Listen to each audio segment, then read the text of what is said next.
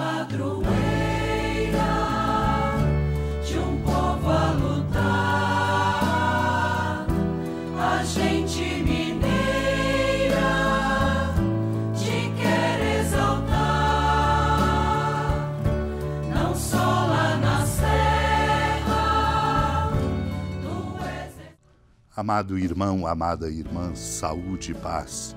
Estamos hoje juntos, congregados ao redor da amada Mãe Maria, concluindo este mês de junho. Sejamos agradecidos por tudo aquilo que vivenciamos, sobretudo continue a ecoar em nossos corações o que devemos pedir, ter em nós os mesmos sentimentos do coração de Cristo.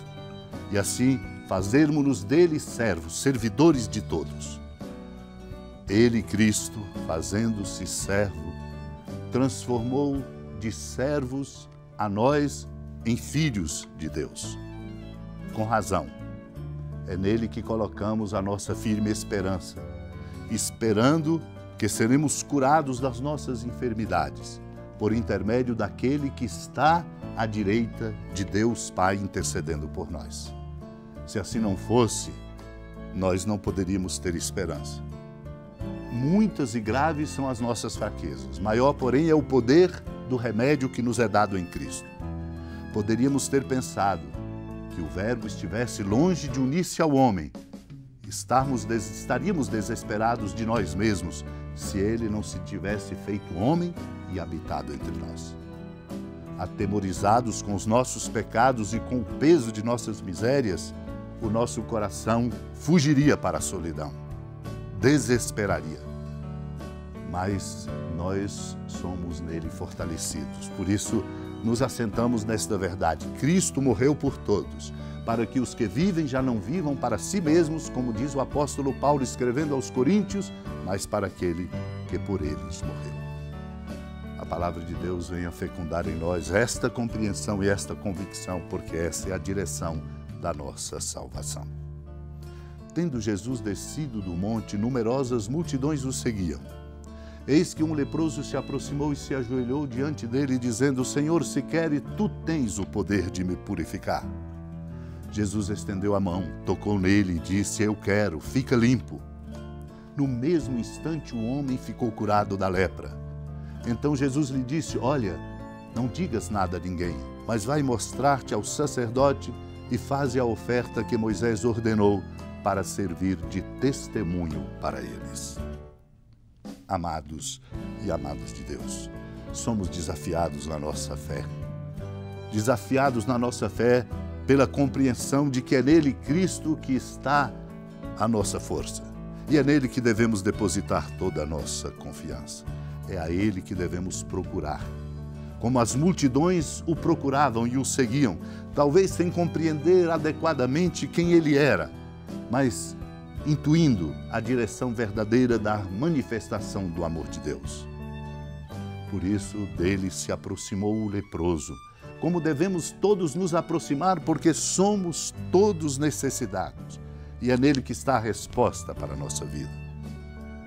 O leproso se aproxima e se ajoelha num gesto de reconhecimento de que é ele o Senhor da vida e que é nele que se manifesta a força do amor de Deus pede: Senhor, se queres, compreendendo que a vontade de Deus está acima do seu projeto pessoal ou mesmo da sua necessidade. Se queres, tens o poder de me purificar. E o Senhor compreende que ali se abre um coração marcado pela força desta fé. Estende a mão, toca nele e diz: Eu quero porque é na medida em que se faz a vontade de Deus e na medida em que a vontade de Deus se realiza é que nós recuperamos a nossa inteireza. Eu quero, fica limpo.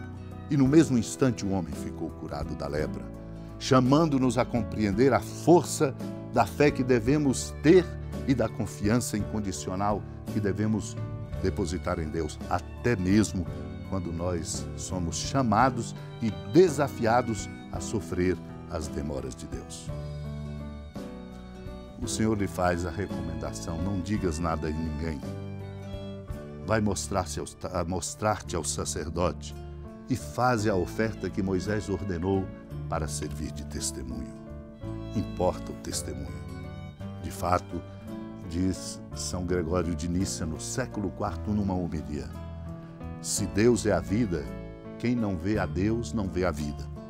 Aquele leproso viu Deus em Cristo, por isso se ajoelhou, encontrou a fonte da sua própria vida. Mas para que não se possa ver a Deus, tanto os profetas quanto os apóstolos, levados pelo Espírito Divino, atestam. Em que angústias, portanto, se debate a esperança dos homens? Diz São Gregório de Nissa. O Senhor vem erguer e sustentar a esperança vacilante, assim como fez com Pedro e faz com o leproso, faz comigo, com cada um de nós, firmando-nos para que nós possamos caminhar nesta confiança profunda e abrir-nos à ação de Deus e fazermos a sua vontade. Deus nos ajude a compreender assim e nós possamos tratar nossos desafios, nossas necessidades nesta experiência bonita de confiança incondicional nele. Ele, Cristo, dizendo a Ele: Se queres, e Ele quer o nosso bem.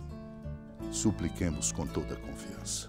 Senhora da piedade, Mãe Virgem do Cristo Deus. Lembrai-vos, ó piedosíssima Virgem Maria, que nunca se ouviu dizer que alguém daqueles que, tendo recorrido à vossa proteção, implorado a vossa assistência e reclamado o vosso socorro, tenha sido por vós desamparado. Animado com igual confiança, vós recorro, ó Virgem das Virgens, e gemendo sob o peso dos meus pecados, me prostro a vossos pés.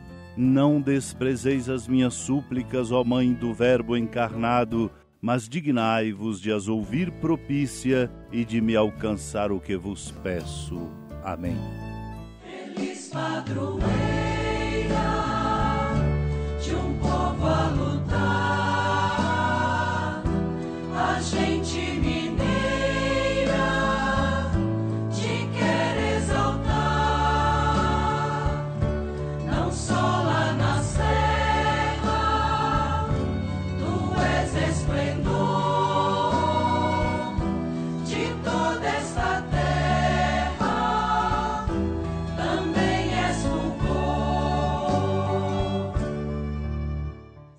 Amado irmão, amada irmã, com alegria da ermida da padroeira do estado de Minas Gerais, a Senhora da Piedade, que da sua casa de clemência e bondade nos acompanha e nos abençoa do alto da serra, magnífica arquitetura divina, a bênção de Deus, amor misericordioso.